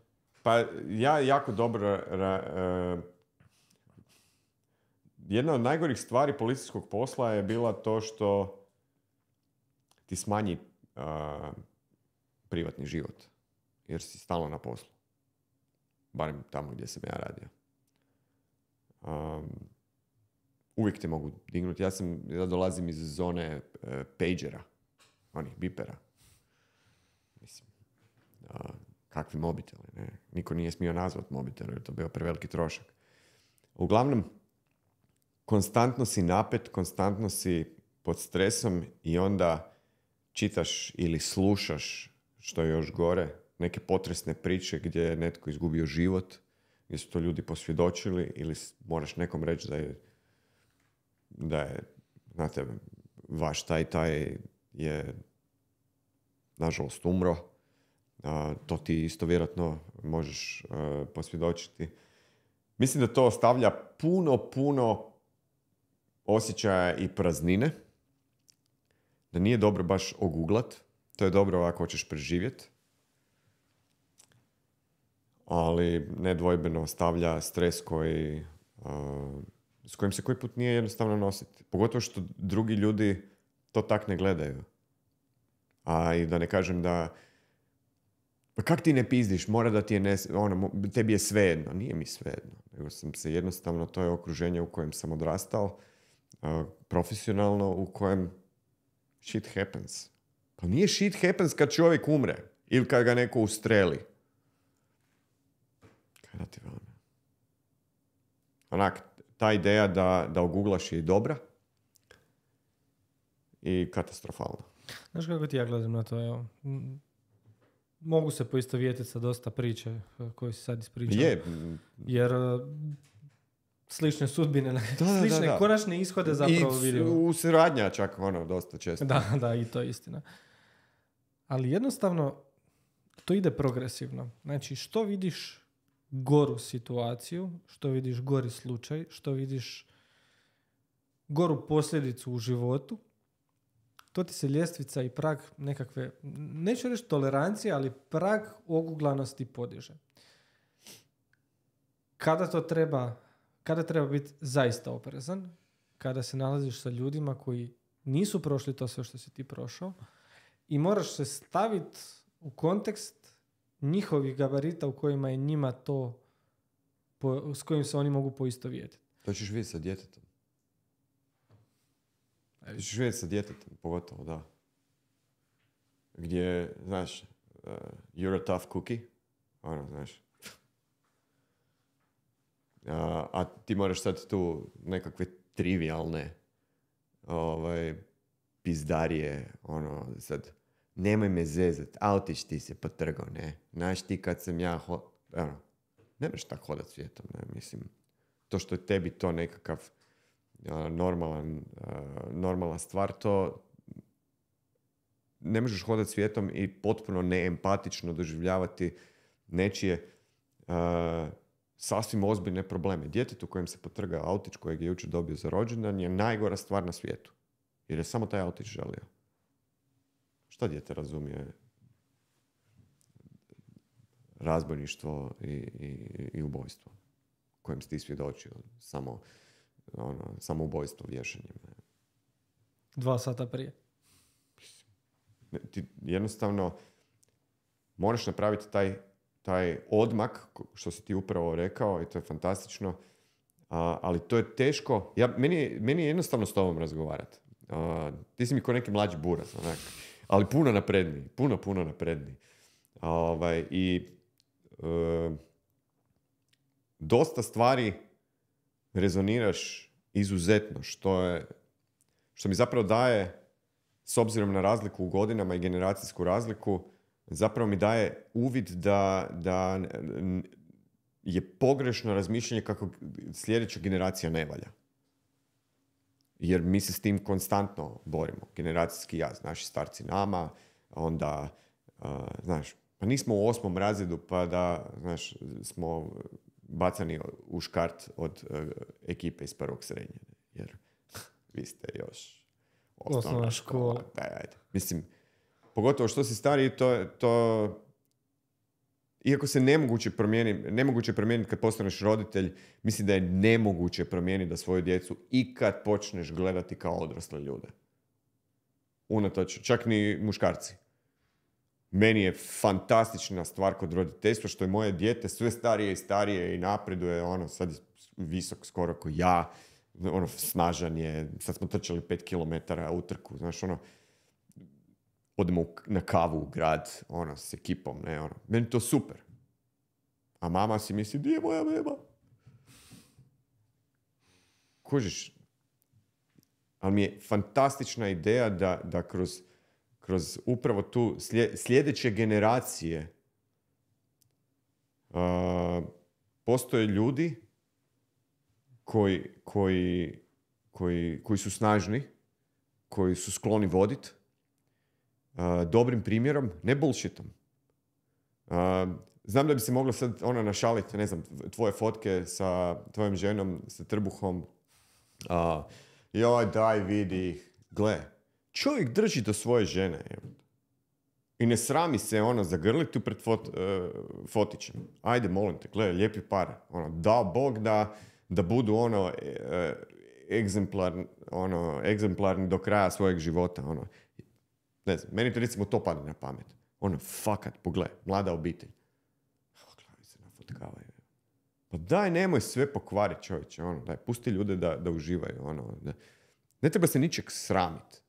Mislim, osim ako fakat se ogrešiš o zakon ili si ovisnik o nekom narkotiku ili ne, ono. Onda malo promisli, ne, ono. Ali,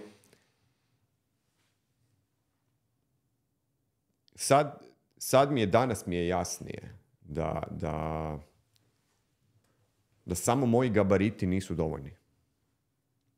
Ja moram oda- ostati odan sebi, svojoj osobnošću. Osobnosti svoje. Ali svoje navike, svoje razumijevanje svemira koji me okružuje i razlike među nama moram naučiti poštovati. Da me pitaš danas, baš si razmišljao o tome ne- neki dan, koja je emocija najbitnija za funkcioniranje svijeta? Poštivanje. Ti ja ne moramo se voliti. Ali ako se poštujemo, uspjećemo. Šta god radili. Ne postoji ništa bitnije od toga. Moraš nekog poštovati. Firme propadaju zato što se ljudi ne poštuju.